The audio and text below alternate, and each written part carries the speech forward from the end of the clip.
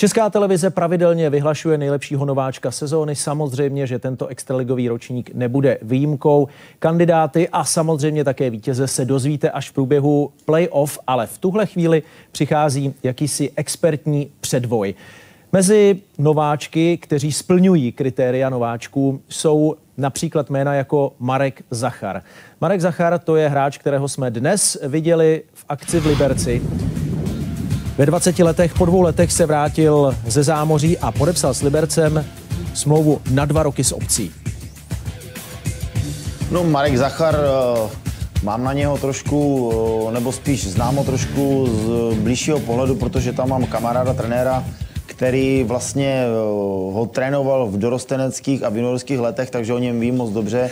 Je to takový drobnější postavy chlapec, ale o to takový hbitější, rtuťovitý, velmi dobrou střelu, vyznačoval se především v těch mladších kategoriích. A když se vrátil zpátky, tak samozřejmě na něho Liberec sázel, protože je to její odchovanec. Eh, dnešnímu dni odehrál jak v Tipsport Extralize, tak v šance lize nějakých 65 zápasů, takže je dostatečně i vytěžovaný. A v podstatě i ty body, které zahrál, tak eh, v Tipsport má nějaký 9 bodů kanadských z 42 eh, zápasů. A v šance lize z nějakých 30 zápasů nějakých 18 bodů. Takže on je vytěžovaný hodně v té první lize, kde má přes 20 minut a v druhé lize nebo v té extralize má nějakých 8-9 minut, takže je vytěžovaný hodně a myslím, že bude Liberci v příštím roce, bude na něj daleko více sázet a pro mě trošku určitě si myslím, že je to takový žolík.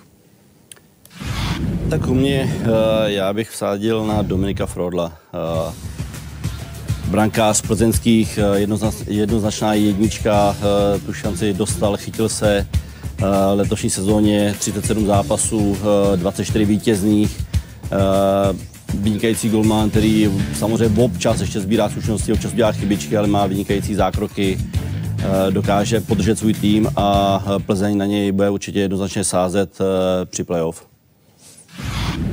Oscar Flynn, další zajímavý jméno, 19 let, nevelkého vzrůstu, relativně muší váhy, ale hráč, který je na ledě znát a cítit. Dobře technicky vybavený, dobře bruslící, energetický typ hokejisty, který má na ledě odvahu a takovou tu správnou hokejovou drzost. Uh, rád hraje s pukem, rád vytváří nebo vyhledává situace jeden na jednoho a v podstatě on je jedno z těch men, který stojí za povšimnutí z těch mladých hráčů a v Mladé Boleslavi odehrál už 25 zápasů a prakticky usadil se napevno ve čtvrtém útoku Mladé Boleslavy.